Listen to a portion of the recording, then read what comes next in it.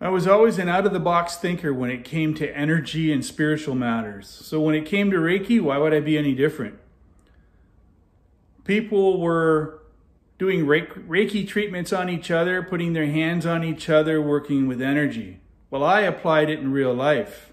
I remember the time I Reiki'd a house. I scanned it. I put my hands on the front door. I let the energy flow. And I was looking for a person. I wanted to know if they were home or not. It was like watching a movie. The information came to me. Read more in my book, The Time Is Now.